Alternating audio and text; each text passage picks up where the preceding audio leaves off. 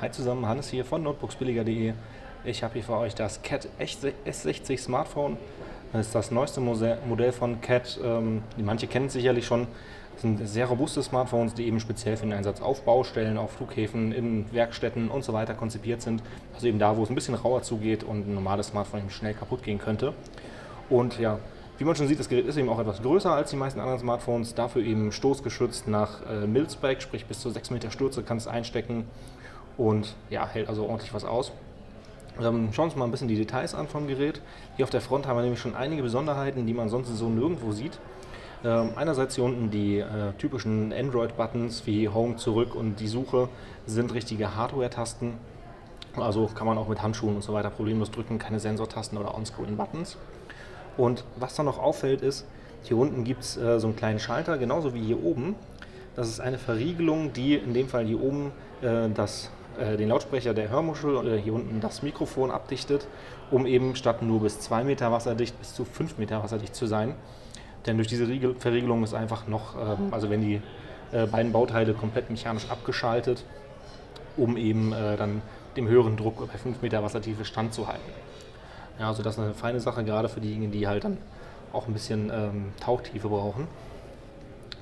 Äh, dann haben wir auf der Front noch eine Frontcam natürlich. Die Hörmuschel sehen wir natürlich diverse Sensoren hier oben noch in der oberen Leiste. Und hier unten kann man zumindest noch erahnen, sitzt der Lautsprecher drin, bis zu 105 Dezibel, also selbst auf der Baustelle sollte man das problemlos noch hören können. Auf der rechten Seite ist weniger spektakulär, hier haben wir letztendlich die beiden äh, Lautstärke-Wippen und auf der linken Seite dagegen ist schon ein bisschen mehr.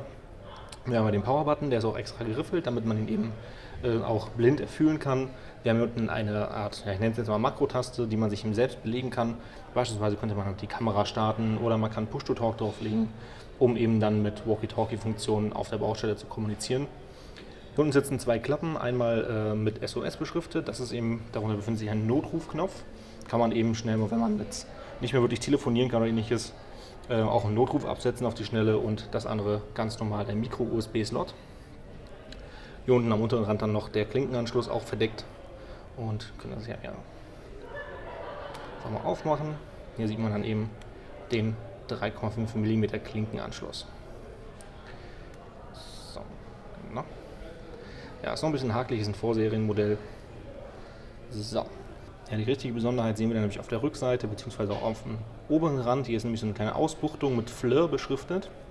Und das Ganze gehört zu einer Wärmebildkamera, die wir hier oben haben. Und darunter noch die normale 13 Megapixel Kamera mit Two-Tone LED Flash.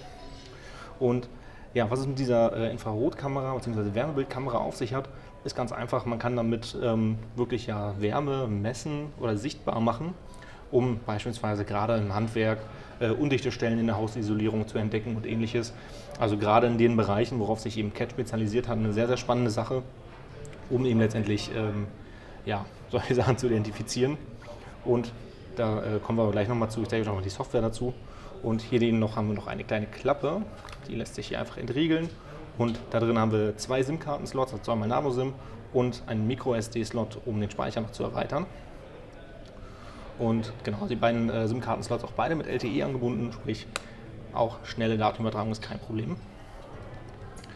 Ansonsten von den technischen Daten her ist es auch auf, auf dem aktuellen Stand. Wir haben hier Android 6.0 vorinstalliert. Ähm, es ist ein Snapdragon 617 Prozessor drin und 3 GB Arbeitsspeicher, 32 GB internen Speicher. Also das auch alles auf dem aktuellen Stand.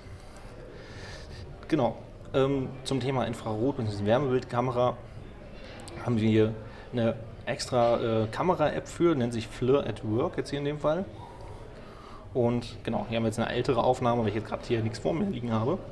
Und hier sieht man schon, das sind zwei Wassergläser einfach mit unterschiedlichen Temperaturen. Hier das kältere Glas und hier das wärmere Glas. Und die kann ich das nochmal live zeigen. Sieht man jetzt eben den Tisch. Und wenn ich jetzt hier eben meine Hand reinhalte, sieht man schon, meine Hand ist natürlich das wärmste jetzt im Bild. Und auch beispielsweise, wenn ich die Hand hier auf den Tisch lege, wegnehme, sieht man eben auch noch den Wärmeeindruck. Ist hier jetzt in dem Fall, dass eben, wie gesagt, noch ein Vorseriengerät ist, noch nicht 100% kalibriert, also ist manchmal ein bisschen zu warm, ein bisschen zu kalt. Und man hat hier eben auch direkt die Skala eingeblendet. Am oberen Rand seht ihr gerade mit Temperaturangabe. Und wenn es danach geht, habe ich gerade eine Körpertemperatur von 24 Grad. Ja, wäre ein bisschen frisch wahrscheinlich. Ähm, Gut. Aber wie gesagt, das eben noch der Vorserie geschuldet. Das wird eben noch deutlich besser kalibriert. Ja, ansonsten, wie gesagt, ist es ähm, primär ein Android-Smartphone, wie man es halt eben kennt. Ein paar Apps sind vorinstalliert, aber nicht allzu viele. Also es ist jetzt keine, äh, nicht mit Bloatware zugemüllt oder ähnliches, sondern eben ein paar nützliche Sachen eben drauf und gerade für den äh, Einsatzzweck Baustelle oder in Werkstatt ähm, ja, vorgesehenen Apps. Ja, ähm, ach so, wo wir beim Display, äh, auch das Display sehen. Äh, eine Besonderheit ist noch das extrem helle Display mit bis zu 700 Nit Helligkeit. Sprich, selbst Sonnenlicht oder ähnliches ist überhaupt kein Problem hier. Ähm, da kann man auf jeden Fall alles erkennen. Gut, dann so viel auch erstmal zum CAT S60. Äh, mehr Informationen und auch den Blogbeitrag dazu findet ihr unten in der Videobeschreibung. Und wenn es euch gefallen hat, lasst uns gerne mal ein Abo da.